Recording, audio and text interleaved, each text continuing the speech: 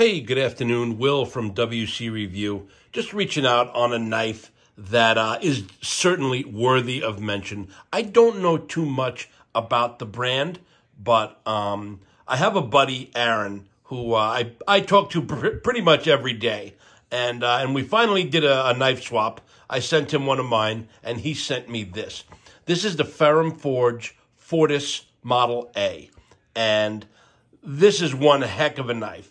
This is one of this is quite possibly the perfect size EDC for normal people. See, I like much bigger knives, uh, and if they made one of these twenty percent larger, I would absolutely buy one. But this is called the Ferrum Forge Fortis Model A, and there's no billboarding. There's really very very little marking on this. It's like a sleeper knife, but when you handle it and when you open it I guess solid would be the the best way to describe it. There's not one rattle. There's just not one thing out of place. And I believe Aron probably sharpened it because he's a lunatic.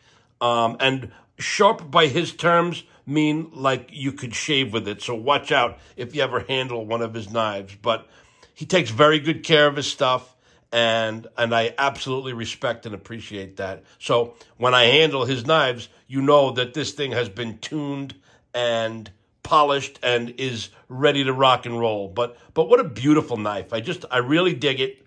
Um, it feels great in the hand. The action is sweet. The one thing he and I both agree on is the flipper tab right there. If the knife sits for a while and you haven't flipped it in a while, you'll you'll come off and you'll slip and it's kind of a pain in the ass. But beyond that, once you get it warmed up and working, beautiful. The finger choil fits my big sausage uh, size fingers, and there's a little thumb ramp back here that really makes it nice to choke up on. So I just wanted to uh, to feature the knife, to mention it, and look at this. That's pretty cool.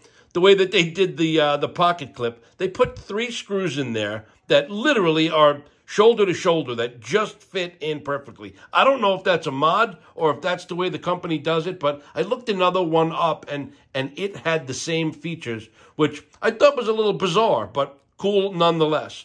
Uh, it's easy coming in and out of the pocket. It's about eight and a quarter inches. I believe the blade steel is 20 CV. Uh, Aron, forgive me if I'm wrong, but I, again, there's no way to know that unless you try to read up on it. And there's really not a ton of information about these. Ferrum Forge, yes, but this particular model, not so much. Um, that's a KW. Not really sure what that stands for, um, but maybe uh, Aron can enlighten me. I will. Probably should have asked him before I made the video, but I just wanted to get this up there and out there. Um, but just just a beautiful night. Obviously, it's all titanium. Uh, and again, I mentioned it, but 20 CV blade steel. Got a beautiful swedge up here. Nice flat grind with the horizontal uh, grind. And again, sharp as shit.